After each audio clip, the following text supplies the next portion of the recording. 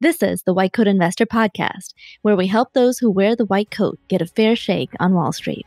We've been helping doctors and other high income professionals stop doing dumb things with their money since 2011. This is White Coat Investor Podcast number 280 Asset Allocation, International Stocks, Bonds, Small and Mid Cap Value Factors.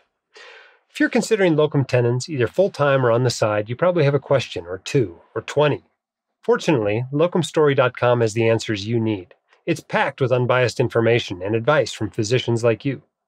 Locumstory.com is nothing to sell. It's simply a resource for information. You'll find super handy tools that let you see locums trends for your specialty, compare different locums agencies. There's even a quiz to help you decide if locums is right for you. Locumstory.com is the perfect place to start if you want to learn more about locums. Hey, thanks those of you out there for what you're doing. Uh, work is difficult.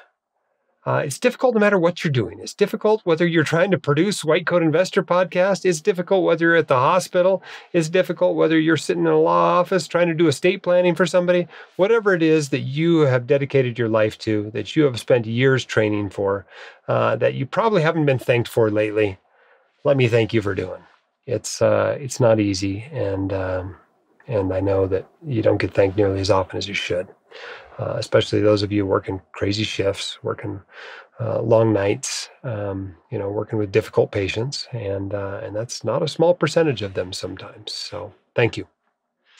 All right. Well, we're recording this on August 31st. Um, and uh, so it's it's a pretty exciting time for us. And the reason why is that we're launching the No Hype Real Estate Investing course on uh, September 6th.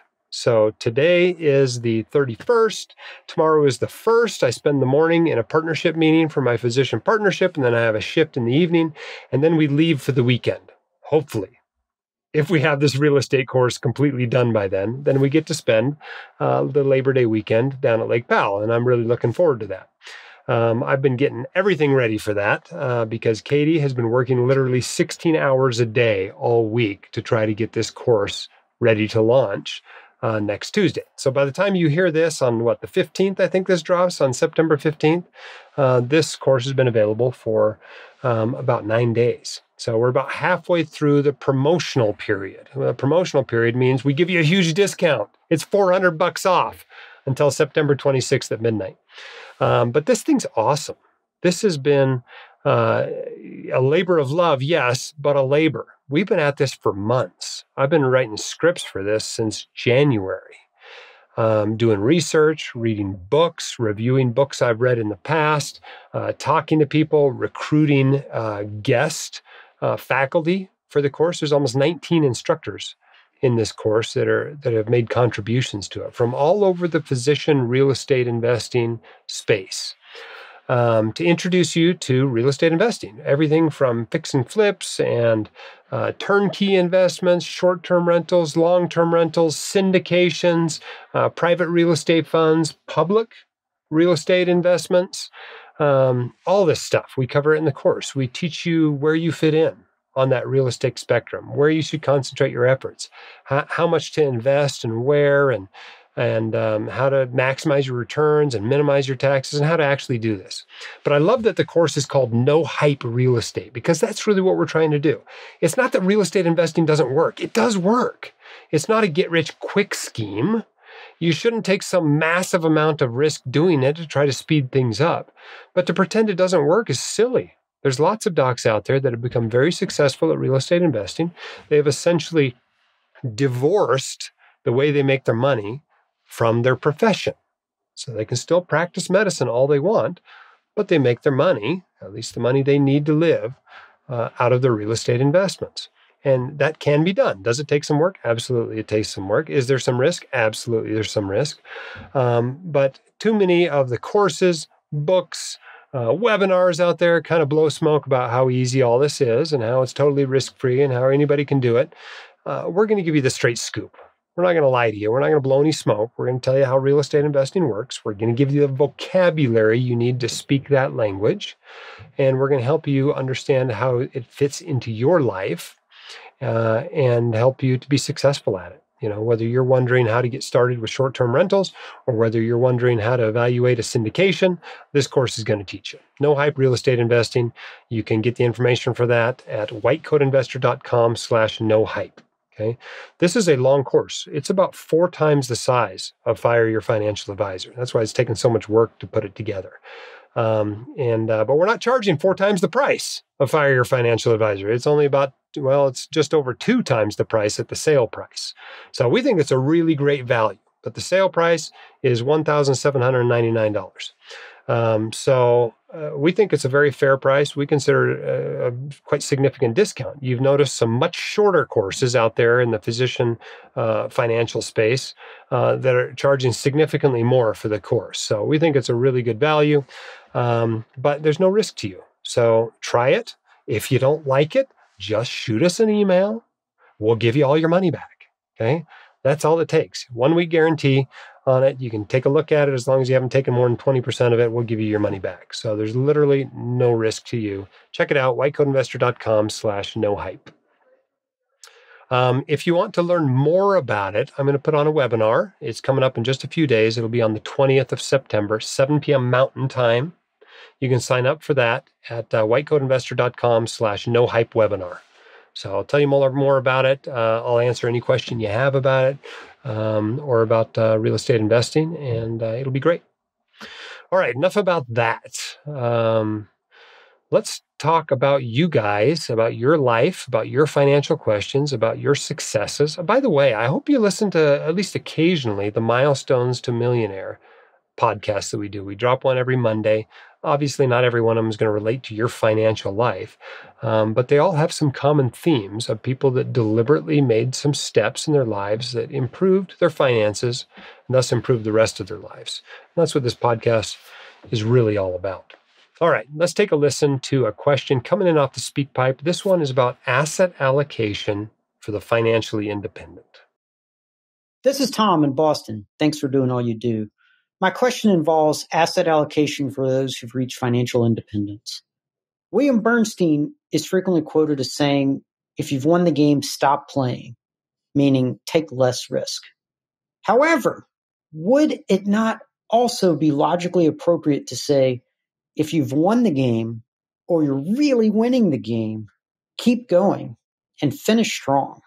For example, if you have a high net worth, no debt, a large cash bucket as an emergency fund and to mitigate sequence of return risks, as well as a high risk tolerance and a long time horizon. Couldn't you keep your high risk status? Couldn't you maintain your high risk asset allocation with a lot of money in stock index funds or even close to a 90 to 100% stock allocation in stock index funds? Couldn't you do that and not run the risk of losing the game? Why not crush the game? Why not keep going and finish strong? What am I missing? And what are the flaws in this argument? Thanks for doing all you do. Thanks for calling in, Tom, and thanks for the question. Um, hope Boston's treating you well these days. Uh, why not, you know, spike the ball and uh, and and just throttle your opponent now that you're up by 15 points on them, right? Um, well, here's the deal. I think there's an important concept to understand in finance and in life. And that concept is enough. Um, if you don't know how much enough is, you might blow right past it and not make the appropriate adjustments in your life for the fact that you're there. For example, if uh, you know part of running up the score, part of you know knocking it out of the ballpark involves work. Work that takes time and energy that could be placed elsewhere. Somewhere that may bring you more happiness than more money is going to bring you. At this point in my life, we've been FI for what, four years, four or five years, something like that, maybe four years.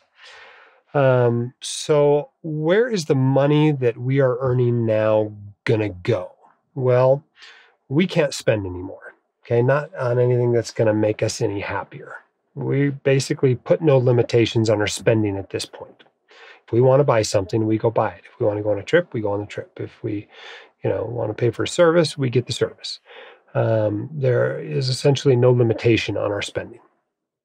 We have also decided that we only want to leave a certain amount of money to our kids. We've already got that amount of money. You know, with any sort of reasonable you know future returns and future amount of spending similar to what we're spending now we're going to have that money to leave as much to our kids as we're planning to leave to them so uh, that means everything else that i am earning that i am working for is going to charity and um, so that allows me to mm-hmm. think about that well what asset allocation should you know money that's not going to go to a charity for you know a fair number of years probably um, be invested at, you know? And so that's probably a pretty aggressive asset allocation. Same thing if you're truly investing for your kids.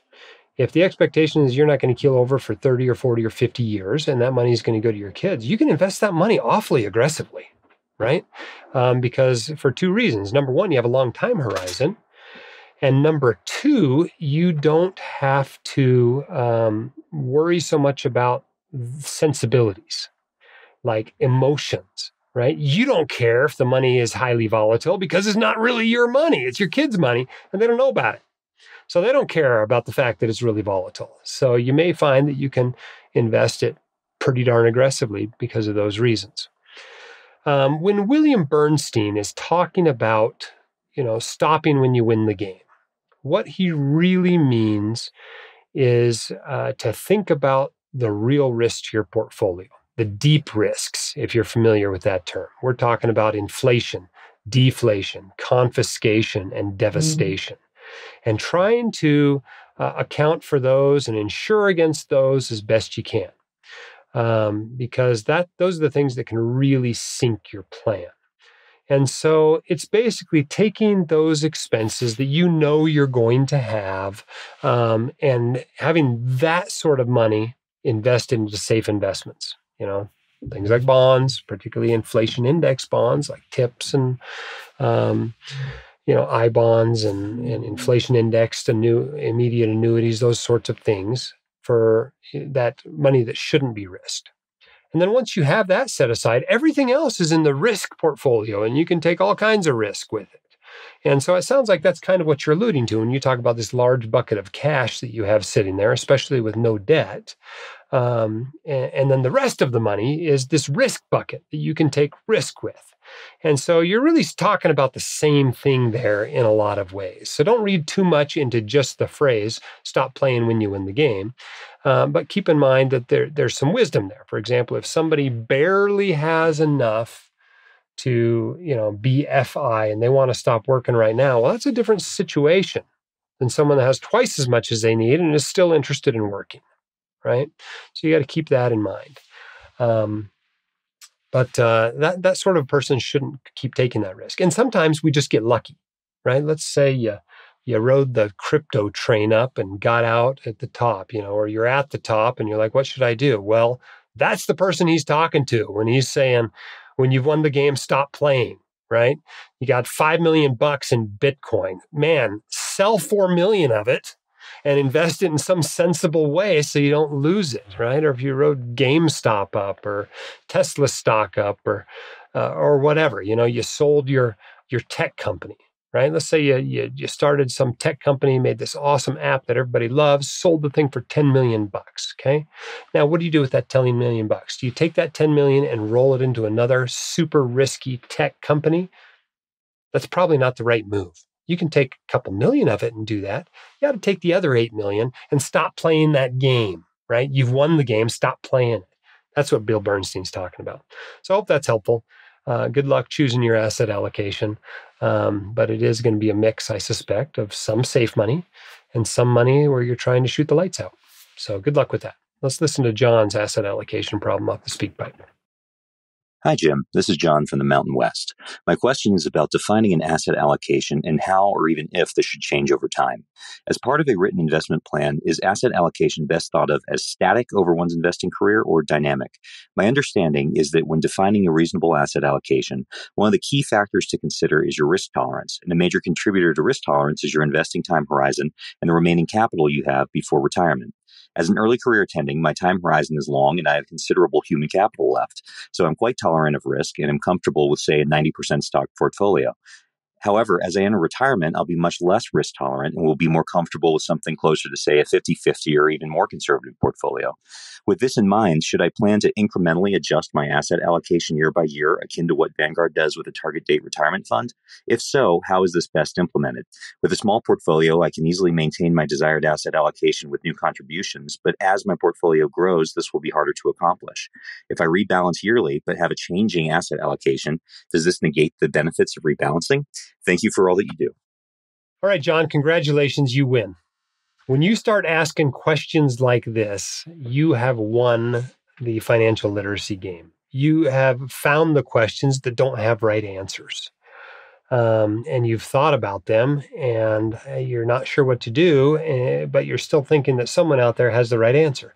And the truth is, nobody does. There is no right answer to this question. Okay. Um, you're right that for most people, um, what they do is they take more risk early on and they have, you know, as you say, more human capital, more of their money is tied up in their future earnings ability, and less risk later on. And certainly that helps uh, overcome sequence of return risk, particularly around the date of retirement, first few years before, first few years after. And so that's usually the right move is to have a less aggressive asset allocation as you move into and through retirement. But when do you get there?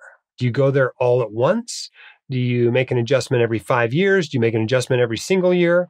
You know, th- there's a lot of ways to skin this cat. You can do all of those and they're all right. What you ought to do is figure out what you're going to do, put it in your written investment plan, and follow that. Okay. Um, I wouldn't try to time it. I wouldn't say, oh, the market's done really well the last three years. Now I'm going to cut it back you know, based on how I feel what's going to happen in the next few years. I would have a mechanical plan. And that plan might be I plan to retire at 55 and I'm going to dial back my asset allocation at 52 to, you know, from 90 10 to 60 40 or whatever. Um, and then at age 65, I'm going to dial it back to 50 50. You know, you could do that. Or you could say, I'm going to be 90 10 now and I'm going to go down 1% a year for the next 40 years. That would also be totally reasonable. Another approach that some people take is just leaving it the same. You know, that's essentially what Katie and I have done from the time we had very little money, you know, four figure portfolio, until now when we have a lot more money. Um, we've had basically the same asset allocation. You know, it was uh, 75 25 for a long time, with uh, five of that 75 being, um, or 7.5 rather, of that 75 being uh, real estate. We have a little bit more in real estate, an adjustment we made five or six years ago. We're now 60% stocks, 20% bonds, and 20% REITs. Um, but it's an awfully similar asset allocation to what we've had ever since we had a four figure portfolio back in 2004. And we're comfortable with that. And the reason why is we're comfortable with what happens in you know the last five market downturns. Um, we have the uh, risk tolerance to tolerate that. Um, but also, there are reasons for us to also increase the aggressiveness of our investing as we go, as well as decrease them. And we found they more or less have just balanced each other out, right? As we have more money, we have less need to take risk. Um, but we also have realized that more and more we're not investing our money for other people, or we are investing our money for other people, whether it be our kids, whether it be uh, for charity, and thus the time horizon for these investments has become longer, uh, in some ways longer than our own lifetimes. And uh, so uh, we found those factors to more or less balance each other out. And so we've just kind of kept it where we are 60, 20, 20, uh, and haven't felt the need to really dial it back. Now, as far as rebalancing goes, you ought to be rebalancing back to whatever the plan is. You know, if your plan says, I got to be this year at 8812, and you find that you're at 93, 7, well, there probably ought to be some sale of stock and some buying of bonds. Um, but uh, I wouldn't let, you know, those two things, I would have those two things be totally separate plans and then just adjust those as they go. If your plan is to rebalance once a year, like lots of people, rebalance once a year to whatever your asset allocation is supposed to be that year. If you're keeping it static like we are, you know, balance back to 60, 20, 20, do that. If the plan is to gradually become less aggressive each year, then balance back to whatever you're supposed to be at. But I would treat those two processes separately. Hope that's helpful. Uh, it's a great question, John. I wish I had the right answer, um, but I want to reassure you that not only do I not have the right answer, neither does anybody else. All right, let's do our quote of the day. This is from Jacob Riis. He says, When nothing seems to help, I go and look at a stonecutter hammering away at his rock, perhaps a hundred times, without as much as a crack showing in it. Yet at the hundred and first blow, will will split in two. And I know it was not that blow that did it, but all that had gone before. You know, and that's in a lot of ways what investing is like. That's a lot of ways what uh, life and success is like. You know, it took me 20 years uh, to become an overnight success. Um, but uh, the truth is, it's all about your habits. It's all about the simple things you do every week, every month um, that uh, eventually add up to a great deal of success. All right, uh, here's another asset allocation question coming in via email. Why should we invest in international? The investing return of international stock market is less in comparison to US. I get a lot of emails like this. It's one line, maybe two half sentences um, and uh, and I don't know where the person's coming from. I don't know what their level of investing knowledge is. I don't know, um, you know, what their current portfolio is. I don't know what article they just read that triggered this question. But here's the deal, right? When you say the investment return of international stock return uh, stock market is less in comparison to U.S., yeah, recently that's the way it's been. If you look at the last ten years, uh, international stocks have returned like five and a half percent, and U.S. stocks have returned something like thirteen percent. Right. So when I say recent underperformance, I'm talking about the last decade or so. Okay. And if you look at the reasons for that, there's a couple of them. One is the outperformance of large and growth stocks, and thus the underperformance of small and value stocks. International stocks are smaller and more valuey than US stocks on average. So when large and growth does better, the US does better than international. The other huge factor that's been going the last few years is a strengthening dollar. And when the dollar gets stronger, the US does better than international. That's a, like a, a headwind that international stocks are facing, at least for those of us who invest and spend in dollars. Uh, so it really says those two factors say nothing about how the companies are doing you know, about how Nestle's doing or about how Toyota's doing or Mitsubishi or whatever, whatever international company you want to talk about. Uh, so unless you know what's going to happen with those two factors, you know, the, the small and value factors, as well as what's going to happen with currencies, the dollar versus the yen and the euro and the British pound, uh, then I wouldn't necessarily assume that those changes will persist. Uh, in fact, there's a lot of evidence that over time, and Jack Bogle loved to talk about this, uh, there is a f- phenomenon of returning to the mean. So, Jack would probably argue that over the next decade, international is far more likely to outperform than the US based on recent poor performance. You guys may or may not remember this, but uh, 10 years ago, everyone was talking about something called the lost decade. Okay. And they were talking about US stock returns from 2000 to 2010. They'd look at this chart of the S&P 500 and basically it was at the same place in 2010 as it was in 2000. They ignored dividends and that sort of a thing like they usually do in those times and said US stocks suck. You know, well nobody's saying that now because in the 20 teens US stocks did awesome. So, what does that mean? Does that mean for sure in the 2020s that international stocks are going to outperform US stocks just like they did in, in the 2000s? Uh, no, it's there's no guarantee, but certainly if you're going to bet one way, that's probably the way to bet. Instead, I think the better approach is set a fixed asset allocation, you know, whatever that might be. In my case, about a third of our stocks are overseas. That's the way it was in the 2000s. It rewarded us very well. That's the way it was in the 2010s. It did not reward us so well. Um, but, you know, the truth is, over time, you're probably fine no matter what that percentage is, whether it's 10%, 20%, 30%, 50%, whatever the percentage is, it's probably fine because international stocks are going to have their day in the sun. I can't tell you when that's going to be, but it's going to happen. And in those times, everyone will be going, why don't you have more in international? That's just because people don't look very far and they don't know their financial history. Okay, here's another email. Very similar question. investing in total US stock market versus international. I know, I know, just choose something and stick with it, and 0 to 20% international is probably reasonable. My question specifically comes after reading one of Dr. Bernstein's books, where I believe he mentions he expects future US returns to be much less, 2 to 3% less, due to US equities doing well for so long. Have you changed your mind over the years over how much international tilt to have? No. I have the same tilt I had 15 years ago. Would there be something that would change that may change your perspective? Well, I guess there could be something. I can't think of what it might be. Um, no, I mean, uh, you expect long term underperformance of some of the asset classes in your portfolio. You just don't know which ones they are. If you knew which ones they were, you wouldn't invest in them.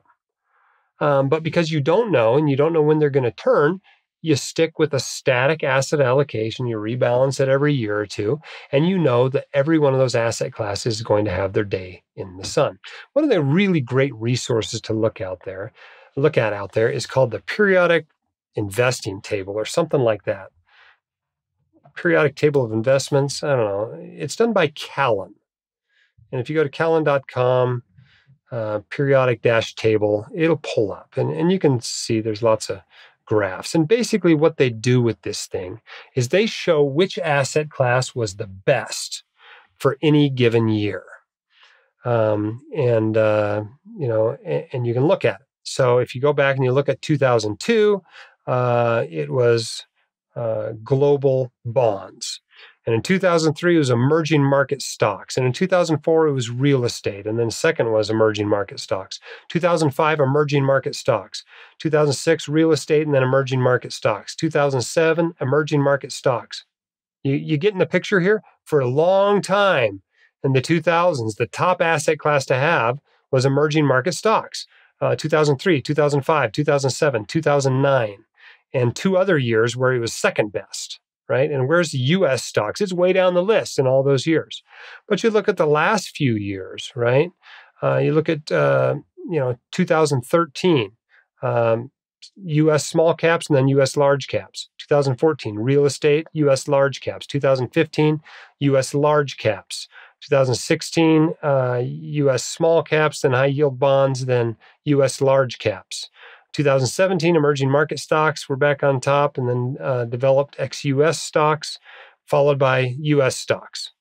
Um, you know, and so for the last number of years, US stocks have outperformed international stocks most of the time.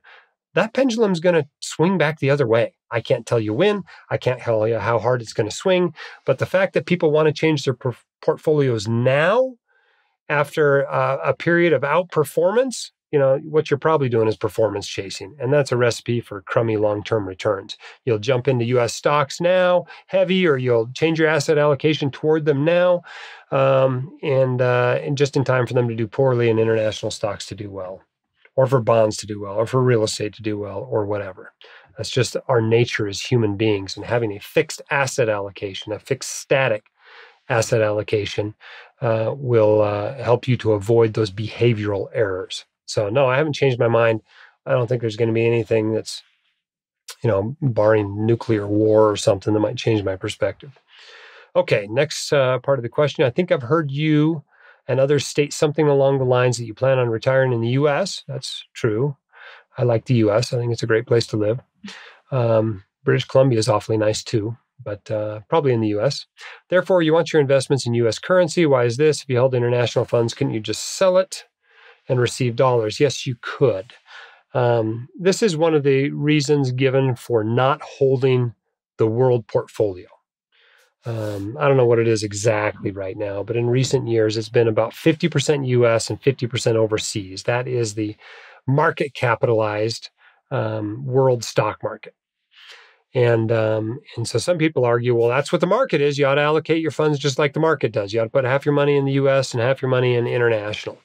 And um, and the uh, argument that people have made to have less than that 50% in international, one of those arguments is simply that, well, I spend in, in US dollars, so I'd have a little bit more money in US dollars. And I think that's reasonable. And that's one reason why I don't have the world market portfolio. I have two thirds of my stocks in the US and one third overseas, was because I spend in US currency.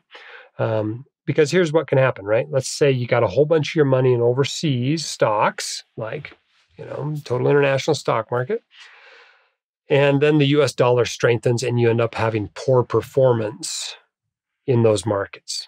Okay. You still got to spend dollars, but your money didn't grow as fast. And so by having a little bit of a tilt toward the US, you've hedged against that possibility. That makes sense. Um, all right. Can't have it both ways though. You, your first question is asking why not more US, and the second one's why not more international. You know, I mean, pick something, stick with it. All right, so let's talk about bonds. This one's coming from one of the WCI columnists, Ricky Rosella. Let's listen to Ricky's question. Hi, Jim.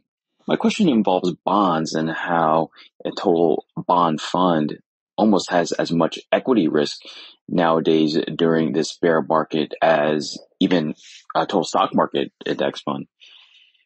I think, uh, if I'm not mistaken, this is because of the concept of bond convexity when interest rates are so low and yields are so low on bonds that they're sort of on a very steep end of this uh, bond price and yield curve. And just a slight change in yield will really decimate the price uh, of bonds. Is it something where in the future, if I'm considering using bonds as ballast to my equities or having a bond por- portion of my portfolio to mitigate my risk tolerance, that maybe I should not use the usual total bond index fund, but maybe something of shorter duration and more treasury bond fund, especially when, again, if we were to encounter a low yield environment. Is there any research in maybe using a shorter duration uh, treasury bond fund instead of a total bond fund when yields are low to properly uh, have an asset allocation matching risk tolerance. Uh, any insight in this would be great. Thanks. All right. Well, Ricky, you don't like it when your bonds go down in value, huh? That's what it sounds like to me. You're kind of being complainy pants that your bonds fell at the same time as your stocks. Well, sometimes they do that. Bonds and stocks have a correlation of about zero. Okay. That means they are not anti correlated. That would be a correlation of minus one. Bonds don't go up when stocks go down they do whatever they want to do. They don't seem to be correlated with stocks. So sometimes they both go down together, sometimes they both go up together. There are really two kinds of risks involved in bonds. Okay, the first one is um, interest rate risk. Okay, if you own a bond that pays 2% and rates go up, your bond's worth less because people would rather buy the new bonds that pay 3%. So if you want to sell your bond, you've got to sell it at enough of a discount that the yield until maturity is about the same as what they can buy on the market. And so that's interest rate risk. And uh, there's a fair amount of interest rate risk in a in a bond fund like the total bond market. I mean, the duration on that's what five years or something like that. So for every one percent that interest rates go up, you're going to lose five percent of the value of that bond fund. The other risk is default risk. That's the risk of somebody not paying you back. Okay. And in the total bond market fund, there's basically three kinds of bonds. Uh, there's treasury bonds, loans to the US government. There are corporate bonds, loans to companies in the US. And there are some mortgage backed bonds.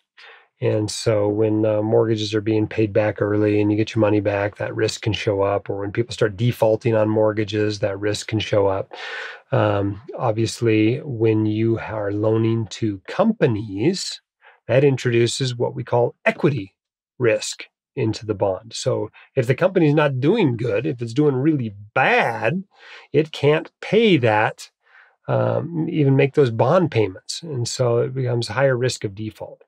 And so some very wise people, uh, some of which include Larry Swedroe, Bill Bernstein, etc., have talked about not taking your risk on the bond side taking it on the equity side instead, that it is a more efficient place to take risks. So their argument is that you hold very safe bonds, not only short duration, so you're not running much interest rate risk, but also not um, you know not very high risk of default. So mostly treasuries.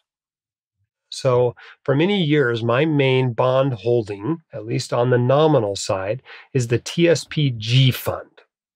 The G fund is basically short term loans to the government. They promise you a treasury yield with um, money market risk. The duration is essentially one day, one to four days is the duration of the uh, of the G fund, but you're getting yields uh, comparable to a 10 year treasury.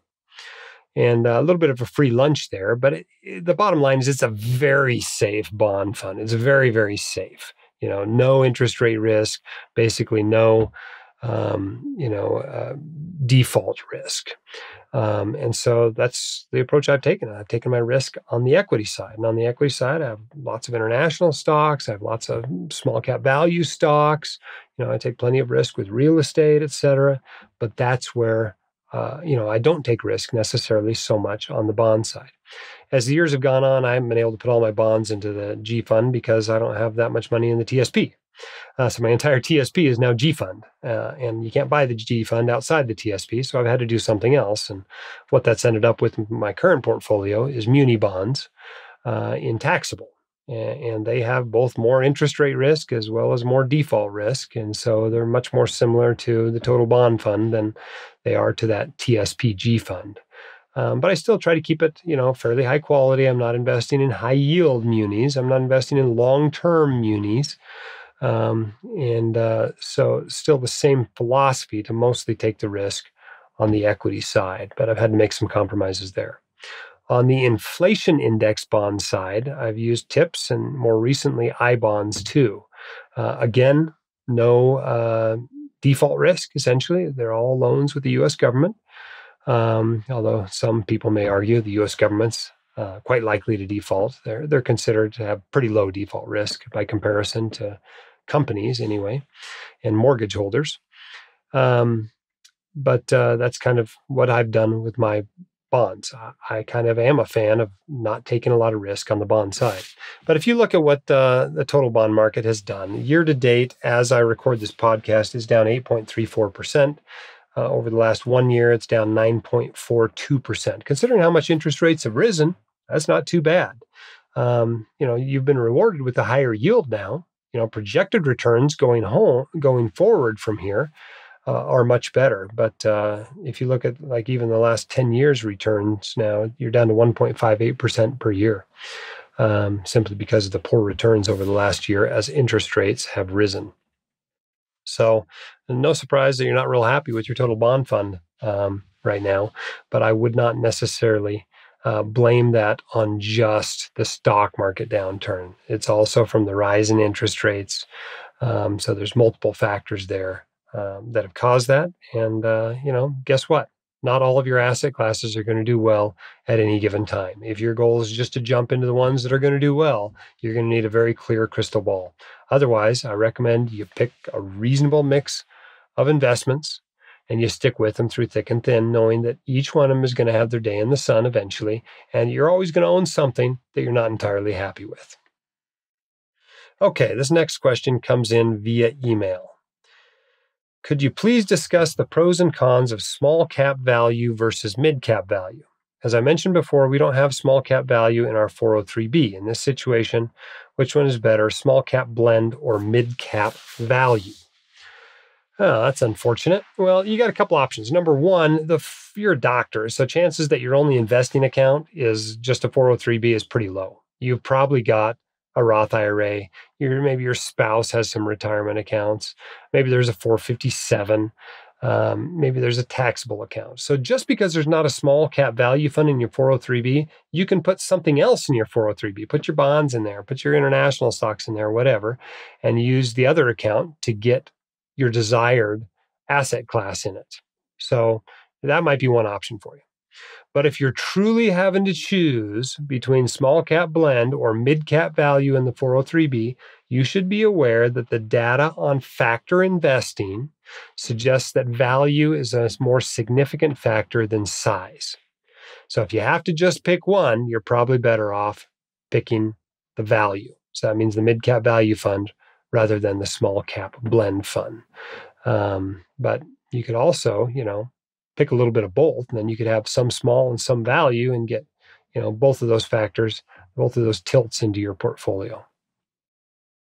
Okay, and your final question is is it wise to invest a little bit more in small cap value and less in total US and international, such as 20% in small mid cap, 25% in US total, and 15% in international? Well, here's the deal. Without knowing future returns, I can't answer that question. And if I knew future returns, I'd just have you put it all in whatever's going to do the best. Uh, I don't know what the proper mix is. Each of those is likely to have their day in the sun, and you'll be glad you own it when it does, and you'll wish you owned more of it when it has its day in the sun. Um, likewise, when it does poorly, you're going to wish you owned less of it or didn't own it at all. And that's just the nature of a diversified portfolio. This uh, tilt you're talking about, though, 20% in small and mid cap and 25% in a total market, is a pretty heavy tilt. I mean, small value is basically 3% of the market and you start talking about putting 5 10 15 20% of your portfolio in there or you know of your us stocks putting 50% of them into small cap value you better really believe in those factors because it's important that you don't tilt your portfolio more than you believe because when those inevitable periods of underperformance come you don't want to bail out just in time for it to turn around and really start outperforming. So don't tilt more than you believe uh, just like I would say, be less aggressive when setting your initial uh, stock to bond ratio until you go through a bear market. Maybe you ought to be a little bit less aggressive in setting your tilt until you've gone through a period of underperformance of that factor. Personally, uh, my stock portfolio is 25% US total stock market, 15% small value, and then 15% total international and 5% small international. So there's some tilts there, and they're pretty significant tilts. Um, but I also didn't bet the farm on them. So uh, I feel comfortable with that.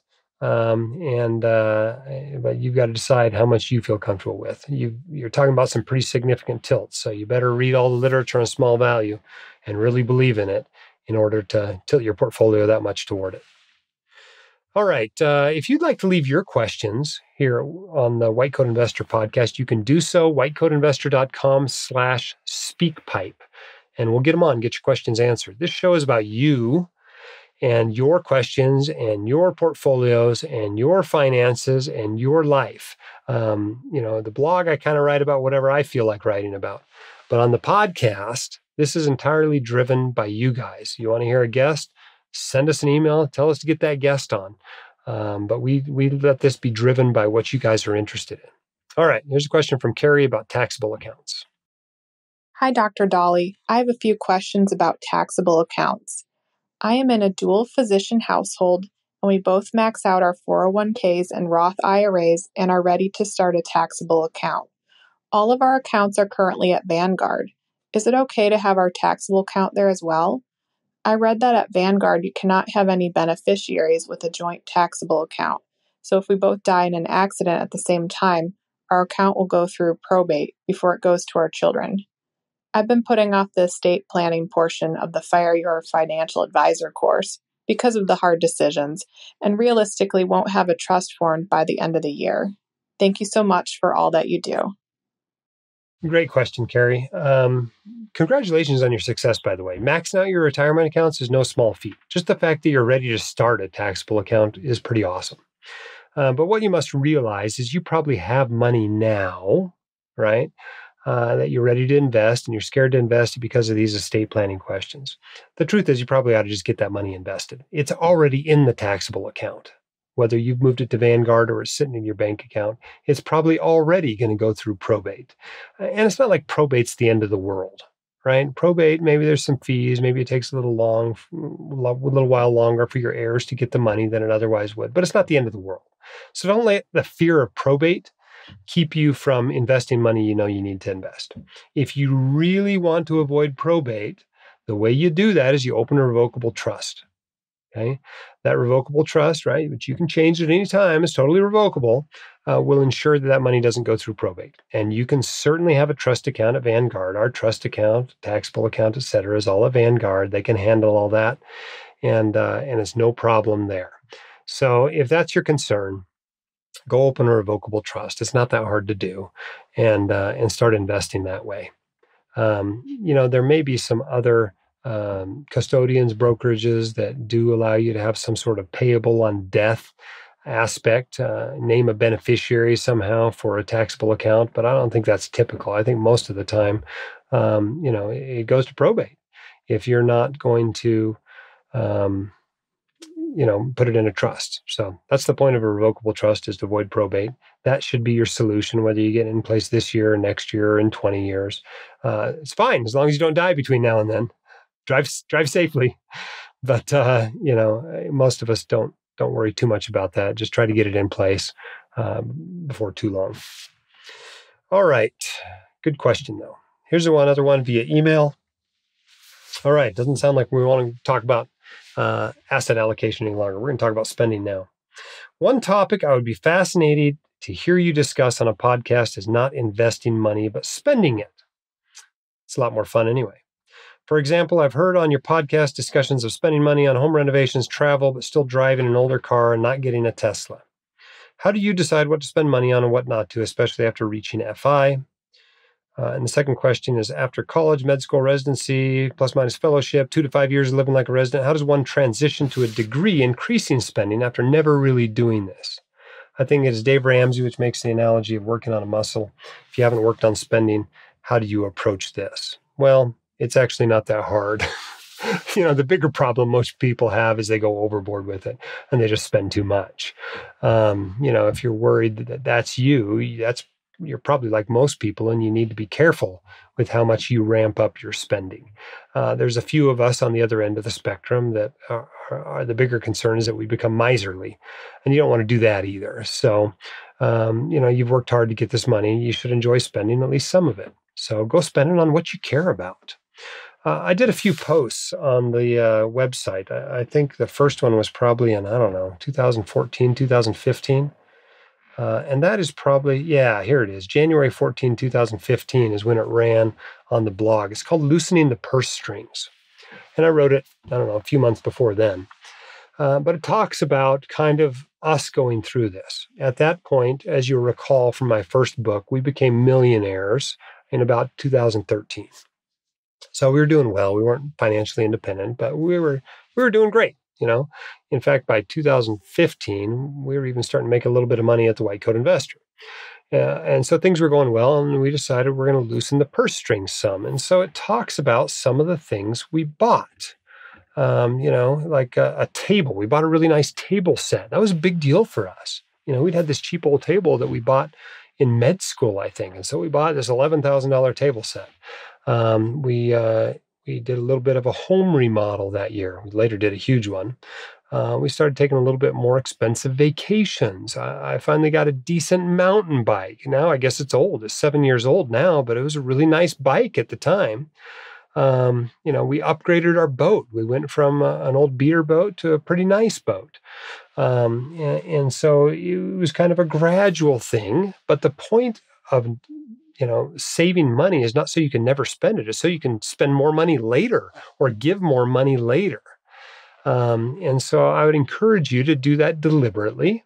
And yes, there should still be a live like a resident period of some type after you finish your training.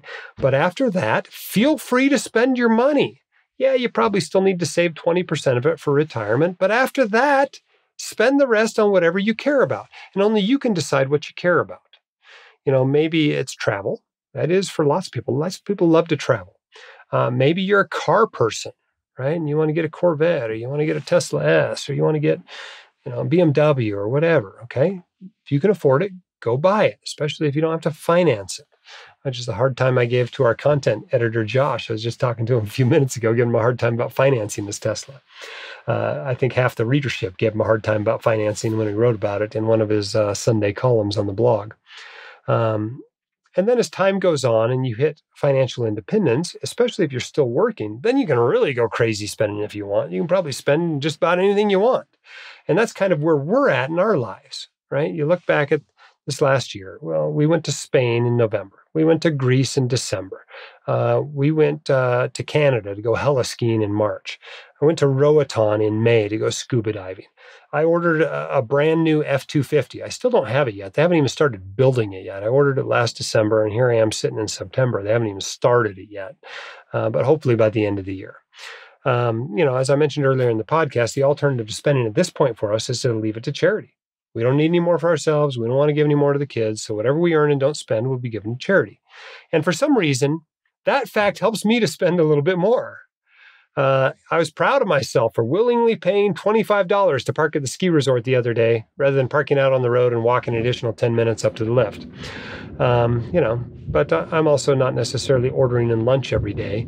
Um, I'm going downstairs and making, you know, PB and J's. So, uh, how I decide where to spend, I don't know. It's a lot of it's convenience. Um, you know, I still don't have a lawn service coming over and mowing the lawn. If the kids don't do it, I do it. Um, but we have someone that comes in and cleans our home because we really hate cleaning stuff, and I don't mind mowing the lawn. So everybody's a little bit different in what they don't mind spending on. Um, and you just got to make sure it's reasonable that you're saving enough money and you can spend the rest, but try to be deliberate and spend what you care about the most. All right, that was a great question to end on, I think. Uh, now that we've talked all about asset allocation and investing, and then what you do once you have invested the money. Uh, but if you're considering locum tenens, either full time or on the side, you probably have a question or two or 20. And fortunately, locumstory.com has the answers you need. It's packed with unbiased information and advice from physicians like you. Locumstory.com is nothing to sell, it's simply a resource for information. You'll find super handy tools that let you see locums trends for your specialty. Compare different locums agencies. There's even a quiz to help you decide if locums is right for you. Locumstory.com is a perfect place to start if you want to learn more about locums. All right, I told you at the start of the uh, podcast about our new real estate course. You really should check that out. Uh, it's at uh, whitecoatinvestor.com slash no hype. Seriously, no risk. Check it out. We think it's awesome. Uh, let us know what you think. Go check it out. Uh, also, if you are interested in coming to WCICon, the conference website is up. We've got the uh, speakers announced there. Uh, you can go to www.wcievents.com and check that out. Um, you know, so lots of cool stuff going on there. Uh, I think October 11th is when registration opens. I hope it's kind of like before the pandemic when we sold these things out in 24 hours.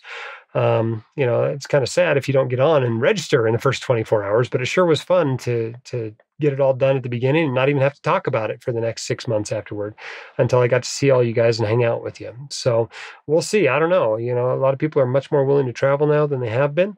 Um, and uh, so maybe it will sell out super fast again. Uh, there's pluses and minuses both ways. But if you want a reminder to register right when it opens, you can also get sign up for that at wcievents.com. Um, but that'll go on sale next month.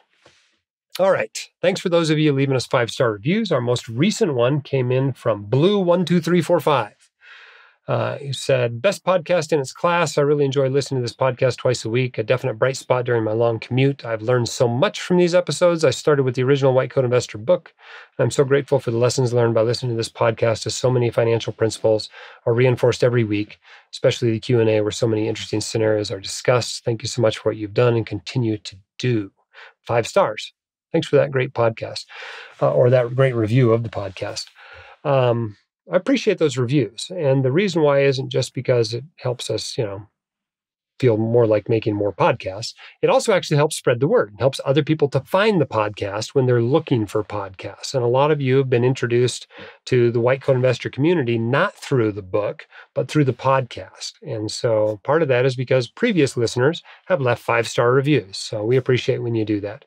Obviously, if you have something bad to say to us, we prefer hearing about that in private. You know, shoot us an email, tell us how we can improve, and we'll work on doing it. Like I said earlier, uh, this podcast is driven uh, by its listeners. What you want to hear about is what we talk about. So leave us questions, send us feedback, um, and we'll try to uh, to get that information uh, that you're looking for on the podcast.